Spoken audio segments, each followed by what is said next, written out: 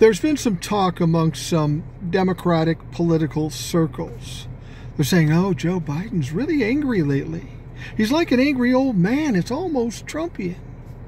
And you know what Joe's angry about?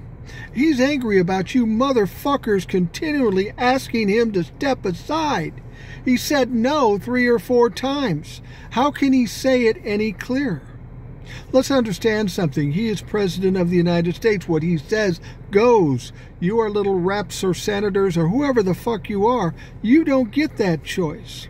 You seem to think that if Joe stays in the race that he could lose. Joe knows better. We know better. See, here's the thing. You senators and reps and whoever else, you don't get to choose who's going to be president. You know who does? We fucking do.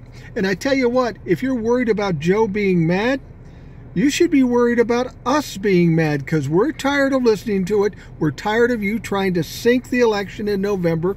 It's time you get on board or get the fuck out of the way. And that's basically what Joe said to you.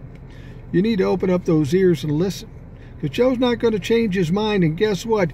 You motherfuckers can't change it for him.